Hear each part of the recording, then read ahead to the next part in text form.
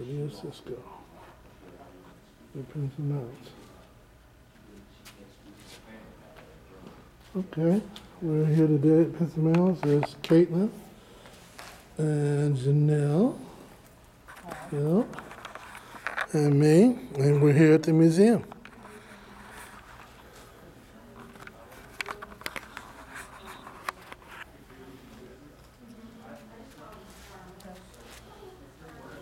We've just seen the uh, museum movie talking about the mounds.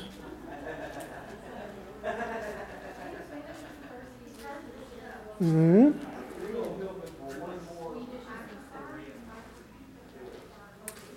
Uh, so you can have your picture taken as a junior ranger. Yep.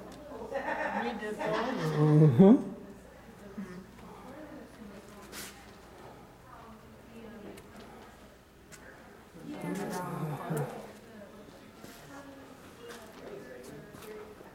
Oh, you can kind of see the records through here Okay. that they got. See? Mm-hmm.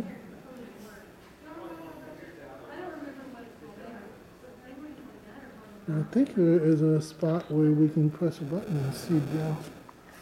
I, th- I think a light comes on down there. Uh-huh. Wait, like Swedish is one of the, because they have like, same words for different, like party and party, and it's the same thing, you just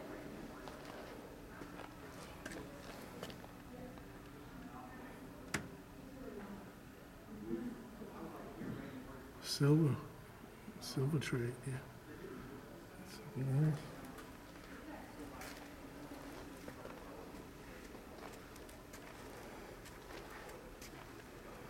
Yeah, I think this is new. They got the Yeah, pictures. now. Yeah. Statements as well. Mm-hmm. The building, there's different photos of it. Mm-hmm.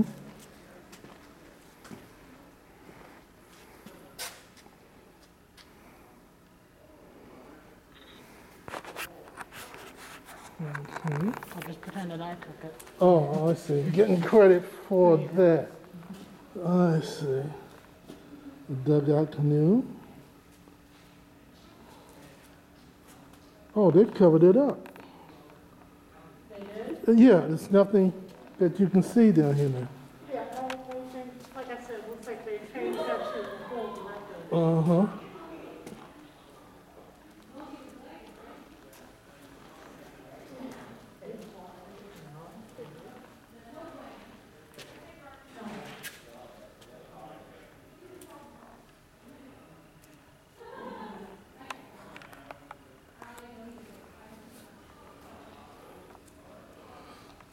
Let's with two cats.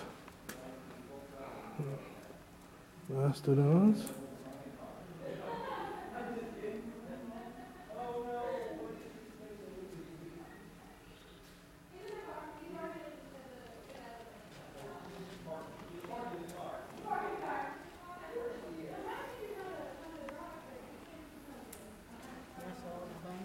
Well, they three different photos, okay. these are-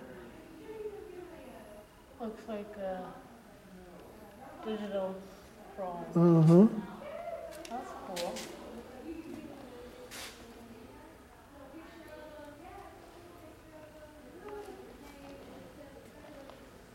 Woodland period is part of Winston, I mean, Pinson Mounds.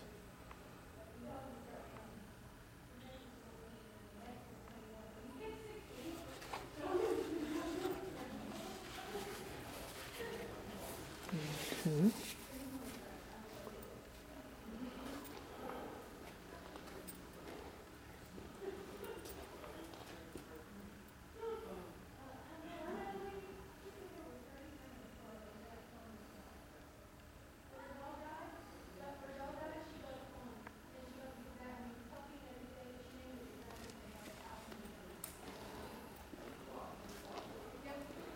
And this is when the Spanish came into the Americas.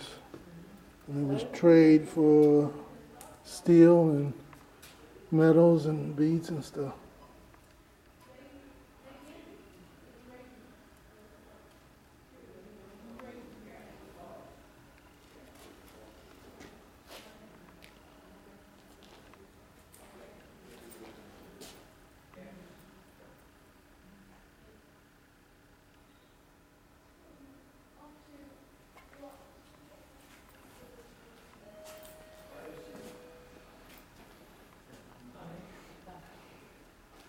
Oh, here we go. The laboratory area into the mounds. I think there is a photo. Oh, yes, on the other side. Okay.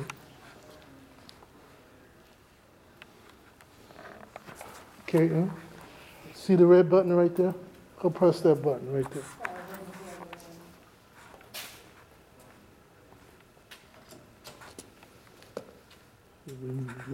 You are looking at a reconstruction of an archaeological investigation, or dig, which was completed here at Pinson in 1982. Through investigations such as this, archaeologists are able to find clues as to who built the mounds here and how they lived. It is as if each such investigation reveals pieces to a giant picture puzzle of Pinson Mounds.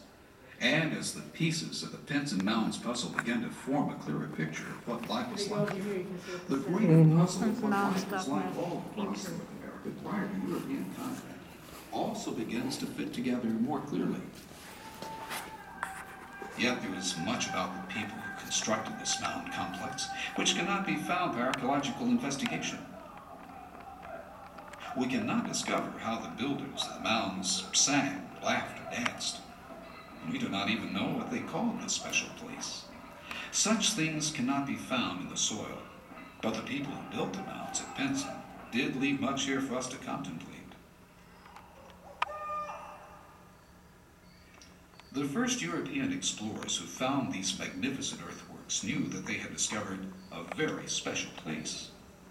One of the earthworks not found by the early explorers of Pinson was a round earthen circle with a diameter of approximately 13 meters. Dr. Dan Morris, a local college professor, discovered this feature on a low bluff above the floodplain of the Forked Deer River in the early 1960s. He dubbed it the Duck's Nest. Okay.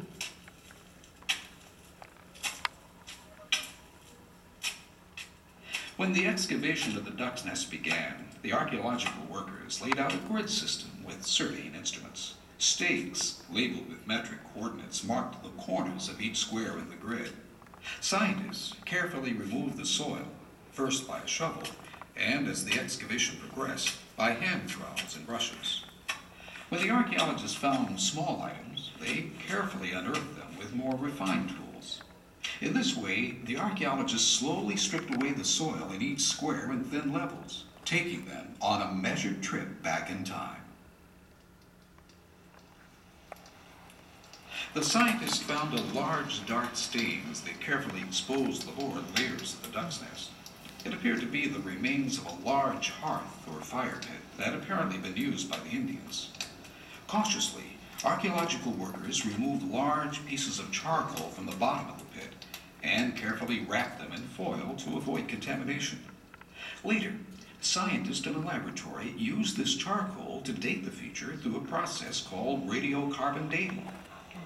During the investigation, the archaeologists located artifacts, including small pieces of a clay pot just above the charcoal layer. Using dental picks and brushes, they carefully excavated these pottery sherds. Placing all artifacts in labeled paper bags after their removal, the archaeologists marked each bag with the site identification number, the date of removal, and the name of the excavator. Drawings documented the progressive exposure of the feature at appropriate intervals. Photos, including a placard showing relevant feature information and a ruler for scale, also helped carefully record the excavation. Later, in the laboratory located on the lower floor of this building, the archaeologists carefully analyzed the artifacts, photos, drawings, and excavation records. And what have we learned from the duck's nest? Was it a ceremonial fire used in sacred ceremony? Was it lit as a beacon fire, helping those who traveled to this important ceremonial center find their way along the river in the night? Certain evidence leads the archaeologists to believe that the fire in this hearth might have been a one time occurrence, although that is not conclusive. As is often the case, the excavation of the duck's nest has raised more questions than it has answered. Perhaps the most important thing that has been learned is that the fire, which now shows up as the dark stain in the soil, burned here about 2,000 years ago. This solidly associates it with the other parts of the Pinson Mound complex. And what of the pottery found in the ashes? Could it have been the remains of a pot which held food prepared over an open hearth? Or the remains of a ceremonial vessel used in some moving, solemn ritual? Some pots at similar sites seem to have been purposefully broken or ritually killed as a part of religious ceremonies. Or was the pot unceremoniously discarded as trash in the fire, having been broken in daily use? We may never know, but we do know just a little more about the site, one more piece of the puzzle.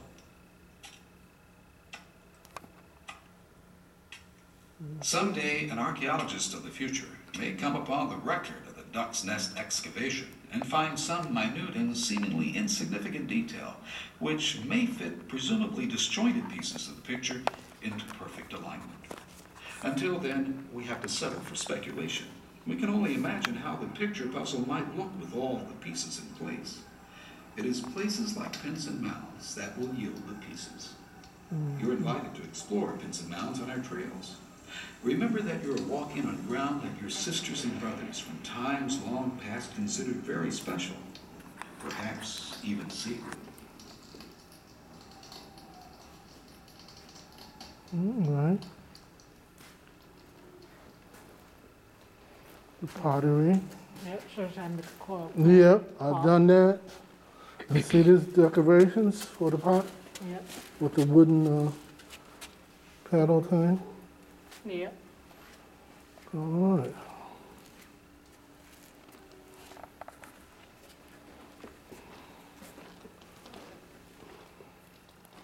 Spirit. Okay. Oh, total, total shell. Actually, it's two of them. See? There's one right here. There's one Mm-hmm. this is new Christmas fern. Okay.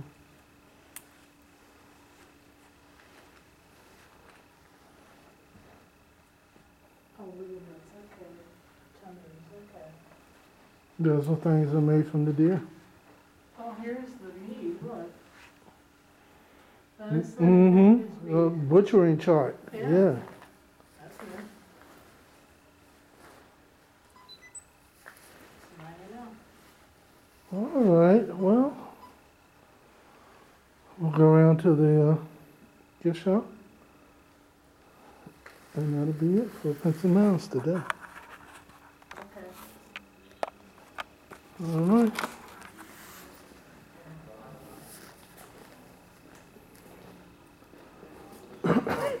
Excuse me.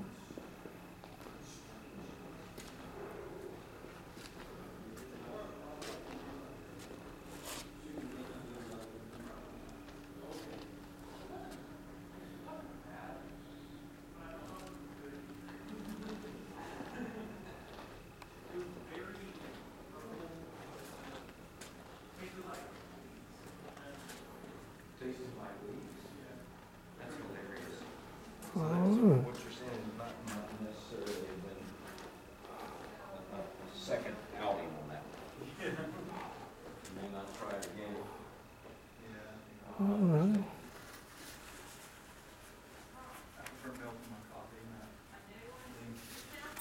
Okay. We'll go over here to the gift shop in a few minutes. All right.